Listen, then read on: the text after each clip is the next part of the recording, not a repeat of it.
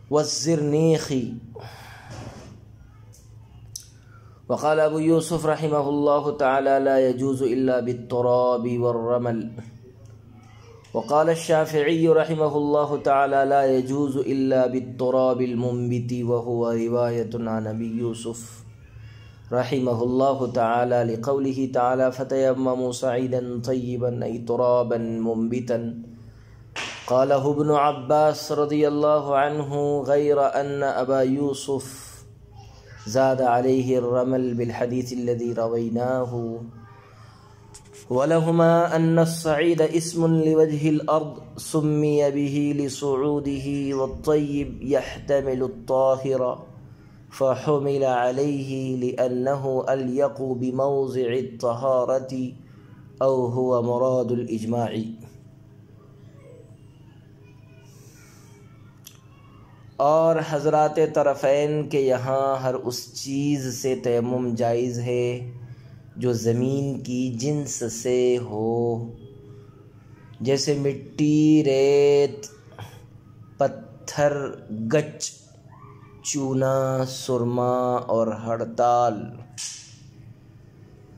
हज़रत इमाम अबू यूसुफ़ रहमहुल्लाह ताला फरमाते हैं कि सिर्फ़ मिट्टी और रेत ही से तयम जायज़ है। इमाम शाफ़ी रहमहुल्लाह ताला फरमाते हैं कि सिर्फ़ उगाने वाली मिट्टी से तयम जायज़ है। और इमाम अबू यूसुफ़ रहमतुल्लाह से यही एक रिवायत है। दलील यह है कि अल्लाह ताला ने सईदन तय्यबन फरमाया है और तय्यबन से मुमबितन मुराद है। हज़रत इब्न अब्बास रज़ी अल्लाह तु ने यही फरमाया है, लेकिन इमाम अबू यूसुफ़ रहमतुल्लाह ने माकबल में हमारी बयान करदा हदीस की वजह से इस पर रमल यानी रेत का इजाफ़ा फरमाया है।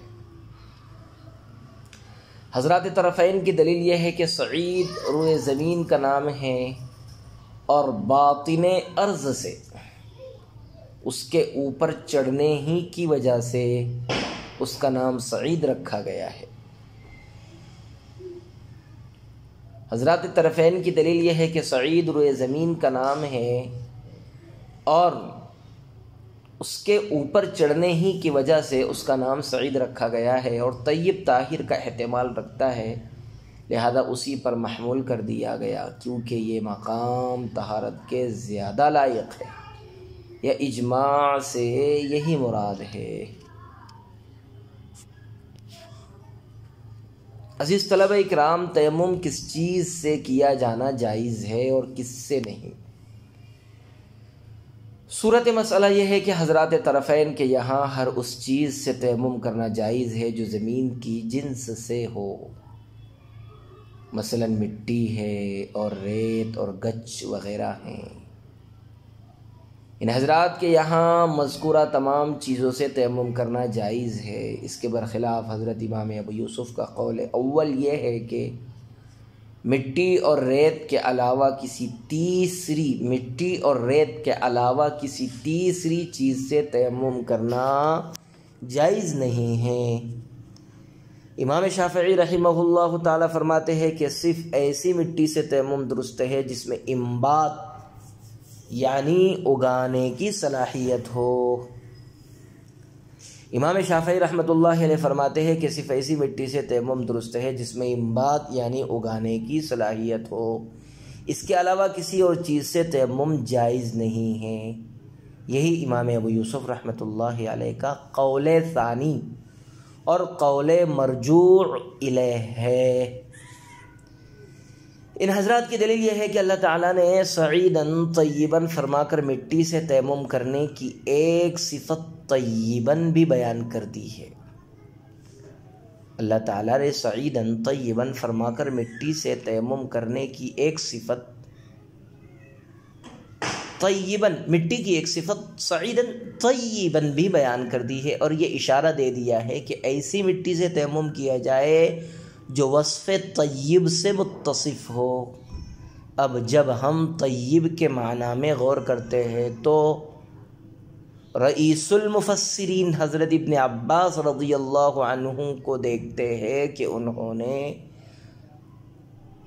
तय्यबन से मुमबितन का माना मुराद लिया है। इसलिए इस तफसीर के पेश नज़र हम भी सईदन को मुमबितन के माना में लेते हैं और सईदन के साथ मुमबितन की क़ैद का इजाफ़ा करते हैं।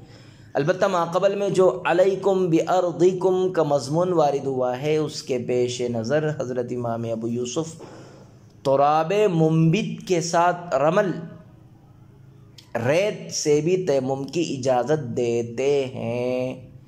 लेकिन हम आपको पहले भी बता चुके हैं कि ये इमाम अबू यूसुफ का मरजु कौल है। वलहुमा।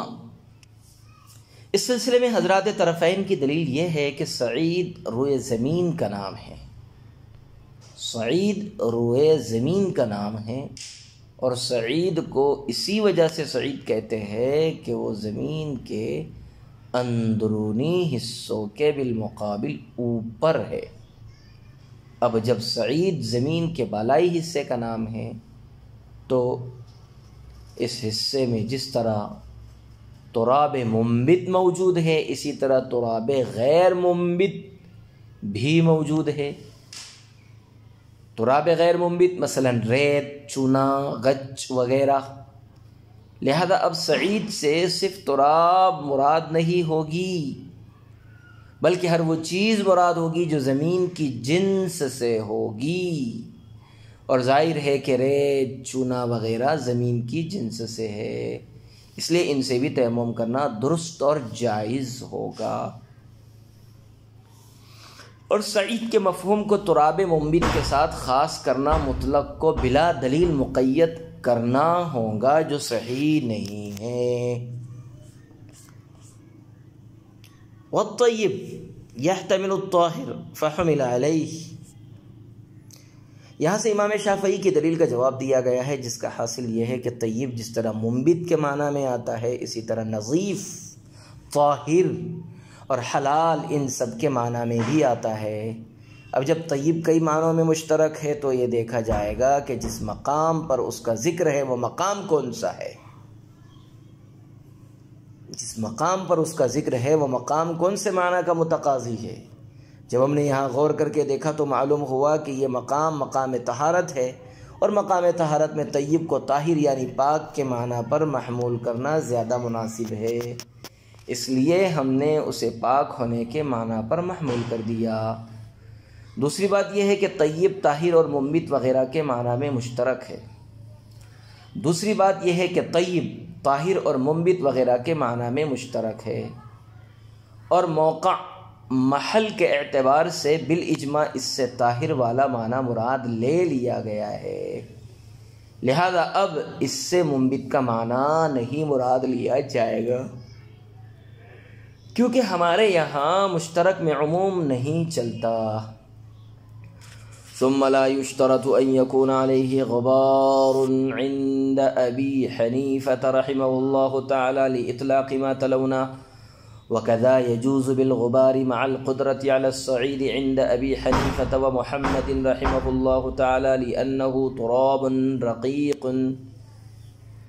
फिर हज़रत इमाम साहब रहमतुल्लाह अलैह के यहाँ मिट्टी पर गुबार होना शर्त नहीं है उस आयत के मुतलक होने की वजह से जो हमने तिलावत की है, नीज़ हज़रत तरफ़ैन के यहाँ मिट्टी पर कुदरत के बावजूद गुबार से तयम करना जायज़ है, इसलिए कि गुबार पतली मिट्टी है।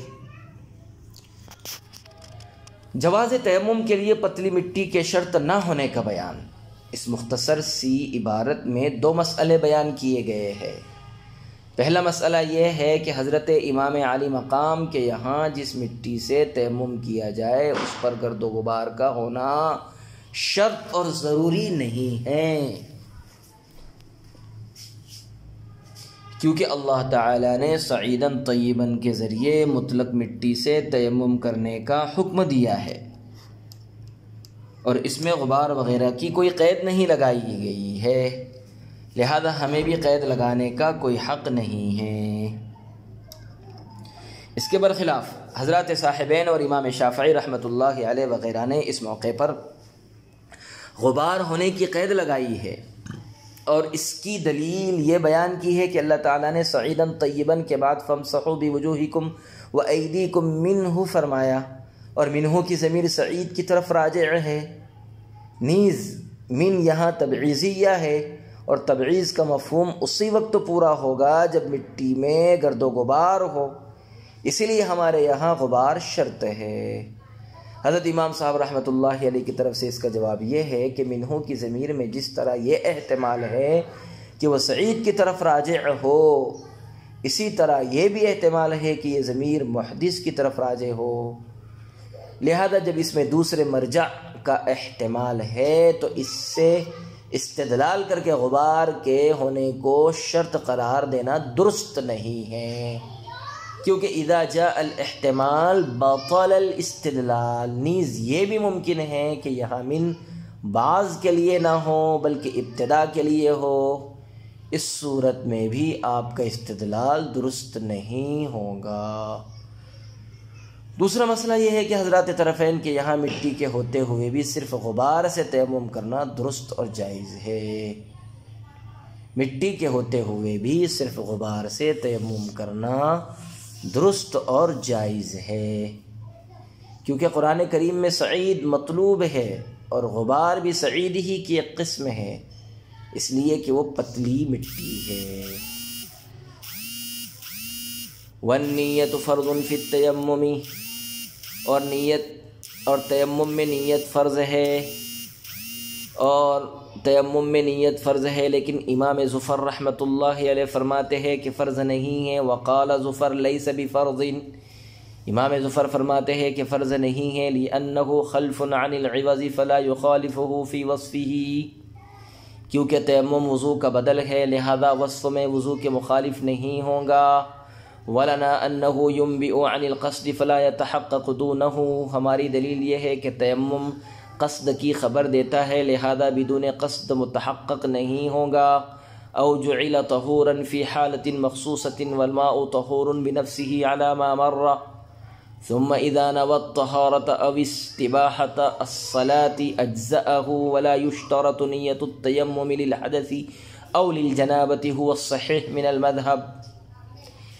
या ये कि मिट्टी को एक मखसूस हालत में तहूर बनाया गया है, जबकि पानी बज़ात ख़ुद मुताहिर है, जैसा कि गुज़र चुका। फिर अगर तयम करने वाले ने तहारत या इस्तिबाहत सलाद की नीयत की तो ये काफ़ी है और सही मज़हब में हदस या जनाबत के लिए तयम की नीयत करना शर्त नहीं है।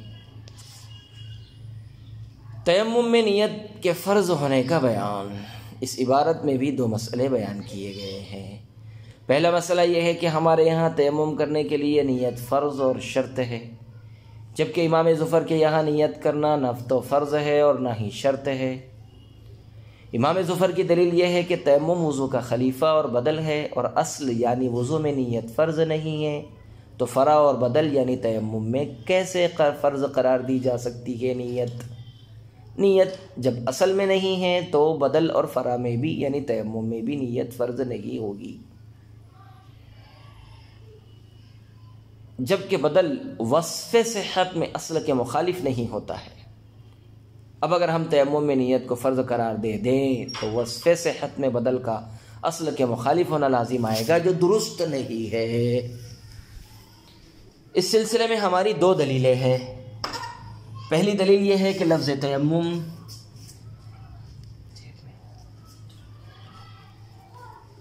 पहली दलील ये है कि लफ्ज़ तयम लगत में कस्द और इरादे के माना में मुस्तमल है और कस्द ही का दूसरा नाम नीयत है।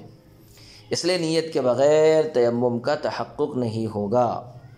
दूसरी दलील यह है कि तयम मिट्टी से किया जाता है और मिट्टी हर हाल में नमाज़ के लिए मुताहिर नहीं है। बल्कि मिट्टी के मुताहिर होने की शर्त यह है कि पानी दस्तियाब ना हो और तयम नमाज़ के वास्ते और नमाज़ के इरादे से किया जा रहा हो। और इरादे ही का नीयत है। इरादे ही का नाम नीयत है, लिहाजा इससे भी मालूम हुआ कि तयम में नीयत शर्त है। इसके बरखिलाफ़ पानी का मसला है तो पानी में नीयत वगैरह की कोई ज़रूरत नहीं है, इसलिए कि पानी हर हालत में मुताहिर है और बज़ात ख़ुद मुताहिर है। लिहाजा पानी के इस्तेमाल में नीयत और इरादे को मशरूत करार देने की कोई ज़रूरत नहीं है। दूसरा मसला यह है कि अगर तयम करने वाला सिर्फ़ तहारत हासिल करने की नीयत से तयम करे या नमाज़ मुबा होने की नीयत से तयम करे तो ये नीयत काफ़ी है और इसे इस तरह की नीयत करने की चंदा ज़रूरत नहीं है कि मैं हदस से तहारत की नीयत करता हूँ या जनाबत से पाक होने की नीयत करता हूँ। यही सही मज़हब है। क्योंकि तयम का मकसद ही तहारत की तहसील है। लिहाजा इस मकसद के लिए हदस की नौ को मुतन करके तहारत हासिल करना कोई ज़रूरी नहीं है। साहिब हिदाया ने असहीह मिनल मज़हब कहकर अबू बकर राज़ी के उस कौल से एहतराज़ किया है, जिसमें वह हदस या जनाबत के लिए अलग अलग नीयत तयम के कायल है। और ये दलील देते हैं कि हदस और जनाबत के लिए चूँकि एक ही तरह का तयम किया जाता है इसलिए नीयत के ज़रिए एक को दूसरे से मुमताज़ किया जाएगा। लेकिन ज़ाहिर है कि ये ज़ाहिर मज़हब के ख़िलाफ़ है। वसल्ला वसलम नबीना महमद वाला व असहाबिही वबारक वसल्लम तस्लीमन कसीरन कसीरा। अस्सलामु अलैकुम वरहमतुल्लाहि